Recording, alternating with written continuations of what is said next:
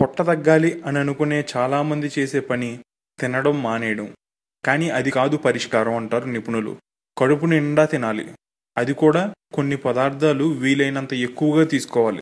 ఇంతకీ అవి ఏంటంటే బాదం. ఈ పప్పులో విటమిన్ e ఈతో పాటు మాంసకృతులు పీచు ఉంటాయి.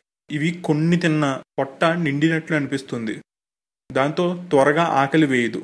వీటిల్లో క్యాలరీలు ఎక్కువగా ఉన్న పొట్ట తగ్గడానికి మాత్రం సహాయపడతాయి. కీరదోస ఇందులో క్యాలరీలు చాలా తక్కువ. పైగా తొంభై శాతం వరకు నీరే ఉంటుంది. ఒక కీర తింటే అందే క్యాలరీలు కేవలం నలభై ఐదు మాత్రమే. ఆకలి వేయదు. అందుకే భోజనానికి ముందు ఒక కీరా తీసుకోగలిగితే అన్నం తక్కువ తినే ఆస్కారం ఉంటుంది.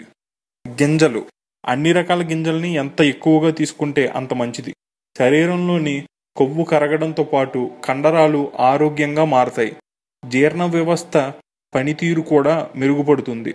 శనగలు బఠానీలు పెసలు మొలకలు లాంటివి పావు కప్పు తిన్న పొట్ట నిండినట్లు అనిపిస్తుంది.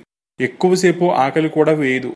ఇదే బరువు తగ్గడానికి దారితీస్తుంది పుచ్చకాయ. ఇందులో ఎనభై రెండు శాతం నీరుంటుంది.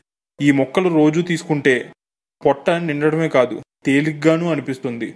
పైగా ఇది శరీరంలో పేరుకొన్న సోడియంను కూడా తొలగిస్తుంది. విటమిన్ సి రోగనిరోధక శక్తి పెంచుతుంది. కప్పు పుచ్చకాయ ముక్కలను తీసుకుంటే అందే క్యాలరీలు కేవలం వంద మాత్రమే. కాబట్టి రోజు తీసుకోవచ్చు. ఈ వీడియో మీకు నచ్చినట్లయితే లైక్ చేయండి. మరిన్ని అప్డేట్స్ కోసం మా ఛానల్ను సబ్స్క్రైబ్ చేయండి.